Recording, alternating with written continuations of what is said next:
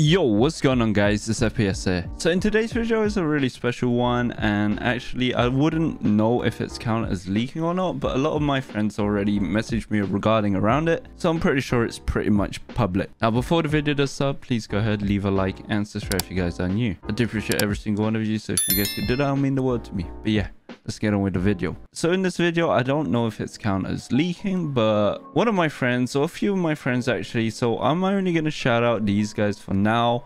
So shout out to Bungalow, Retro Dev, and Nikki for actually pinging me about this, but shout out to Bungalow because he pinged me first early in the morning. But apparently Arsenal actually added a new badge. Now, if you guys actually don't know this, it should be on the thumbnail. And this badge is called Cloud. And obviously it's made by Rolve, the Arsenal developer team. And this badge was actually created uh, two days ago, I'm pretty sure, since recording this. So you guys, it would be like three days when you guys watch this. And it was actually updated three days ago if you guys are watching this, but two days since recording this. And there's actually no description about this, but a lot of my friends have done their conspiracy theories regarding around this badge. As you guys can see, it's pretty much a TC Tully reference, I'm guessing. So what my friend Bungalow actually said to me in our DMs, he said, yo, there's a new badge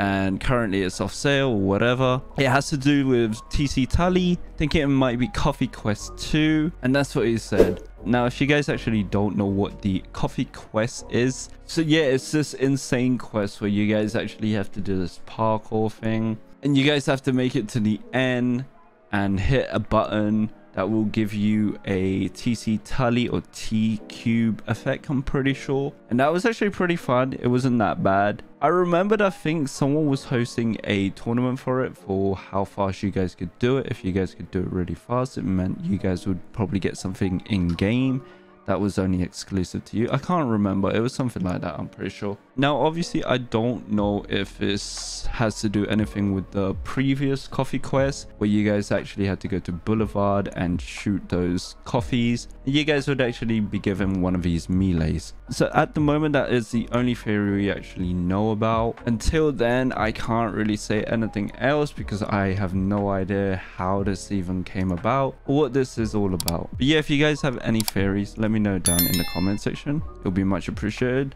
and we'll see if you guys are right. But yeah, before the video does end, please leave a like and subscribe if you guys are new.